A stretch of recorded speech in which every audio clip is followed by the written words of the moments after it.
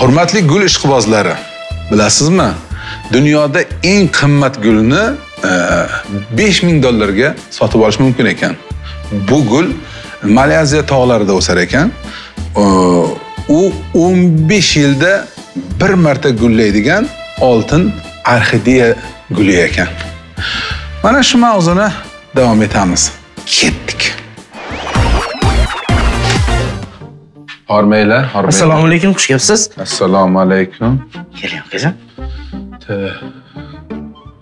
mana qaysi guldan qilib beray mana shu gulingizni menga bunimi Berasiz, mana- shu gul. judayam judayam a'lo darajada qilingan bu gul. Nechi pul turadi bu. Buni sizga 500 ming so'm qilib beraman akajon 500 ming. judayam bir arziydigan gul.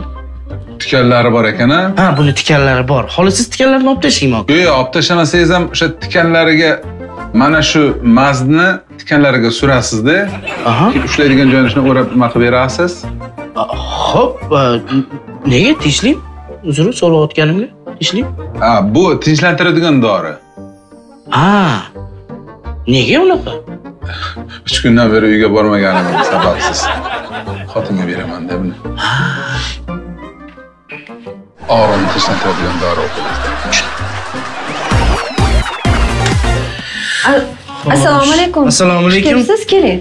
Xush kelibsiz shu qanaqa gul kerak edi? Man e, yumshoqroq gul qidiryapman yumshoqroq. Yumshoq? Yumshoqroq gulingiz yo'qmi? Bargi yumshoqmi yo guli yumshoqmi?